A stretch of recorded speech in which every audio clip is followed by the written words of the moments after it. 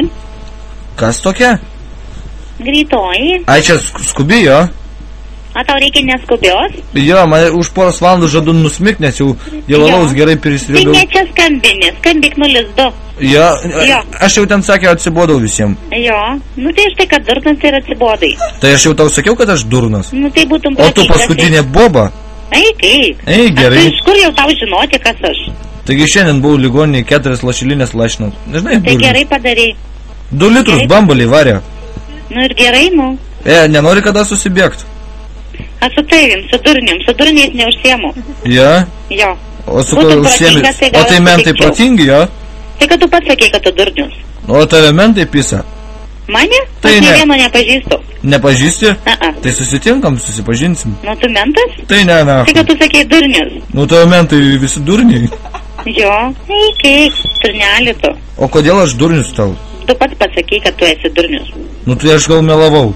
Nu iš kur man, tai pats žmogus apie save nemeluoja. Plius paskambinės į tokią tarnybą dar. Jo, o tu man sakei, kad policininkų nepažįsti, jaučiu visą giminė mentai, kur agurkai. Eik, eik. Ne? Ne. Tai pasakyk ant policijos, kad nors blogą aš nusiųsiu ir tu sėsi. Jei bohu, yra žmonės tavęs tvarkys. Sėsi. Eik, eik. Eik, eik. Fainai čia skamba. Kaip tas pats kaip tai ne nahui. Papiso, nu, tai ne? Tavo žodžiai tai labai negražiai skamba. E, o kiek algos gauni už šūdo malimą? O koks tavo svarbalas? Kriopšt. Kiek? Nu, Nu, va- labai įdomu. davai, nu aš ir labai esu iškalbus ir norėčiau ten dirbti. Na, į tavęs nieks nepriims, tokio durnelių pas mus nepriima.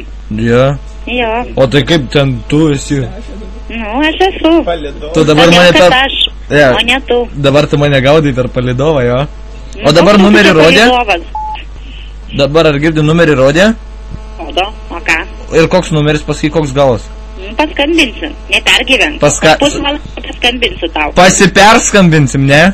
Jo, pasi, Pasi?